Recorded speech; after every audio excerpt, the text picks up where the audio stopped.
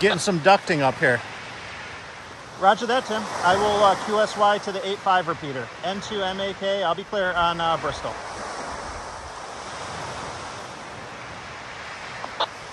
So that's the uh, Bristol repeater down in uh, like the Naples area or so, down in the Finger Lakes. I'm up in uh, Henderson Harbor, New York, up near Sackets Harbor. Probably 80, 90 miles as the crow flies. Let's switch, uh, try another repeater here. This was on two meters. This will be on 70 centimeters right now. N2MAK, November 2, Mike, Alpha Kilo.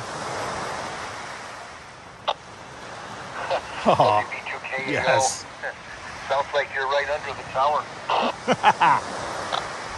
You gotta love it. You gotta love it. Thanks so much. Oh, this is fun. It, it's great when the bands cooperate, and uh, I always try it when I'm up here because you never know. And sometimes it works, and sometimes it doesn't. But usually in the mornings or in the evenings, like now, uh, the uh, the ducts open up.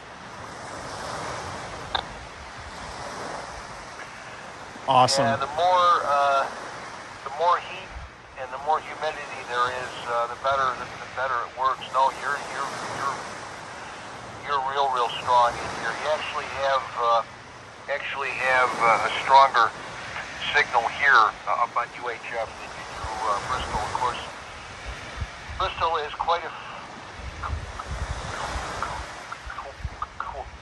quite a ways inland. You know, south of south of the lake. Not only that, um, uh, the higher you go in frequency, um, uh, the uh, the uh, We learning here. The, uh, the, the, the ducting uh, uh, propagation is. You'll notice that if you uh, if you have any sort of a television.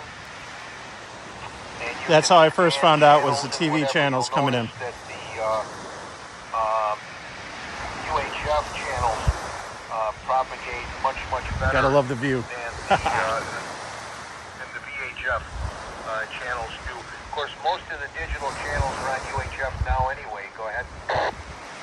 RF around and find out. I'm Mike, N2MAK, 7-3.